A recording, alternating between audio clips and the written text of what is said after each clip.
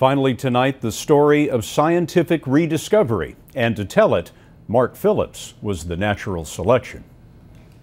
So, this is the gate to the treasure trove, isn't it? In fact, it's the gate to a discovery by one of the world's great scientists that's been lost for a long time. Howard Falcon Lang spends a lot of time in this warehouse of the British Geological Survey where he does research. And generally, you, you know what's here. In most cases, but there are also some surprises as well. Up here. Indeed. Howard was walking along up here when he spotted an old wooden cabinet hidden in a forgotten corner. As any curious person would do, uh, pulled open the door. Without breaking it, hold on, there we go, yeah.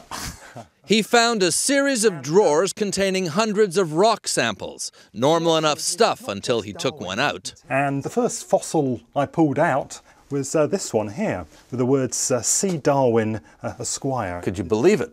Uh, I could yeah, hardly believe it. They were actual samples collected by the Charles Darwin during his five year voyage in the 1830s on the ship HMS Beagle, where his observations of wildlife and fossils led to the development of his theory of evolution that shocked the world. Most of the evidence Darwin used has been well documented, but the samples Howard Falcon Lang accidentally found had been lost because Darwin entrusted them to a fellow scientist, J.D. Hooker, perhaps the original absent minded professor. Hooker uh, committed the cardinal uh, sin of uh, failing to number his fossils, and as a consequence, this collection has just been stuck in drawers for 165 years. There are more than 10 million rock samples in this warehouse, packed in boxes and stacked on these shelves, all of them indexed and cataloged, except for some that slipped through the cracks, some of the most important ever found. And now found and being studied again.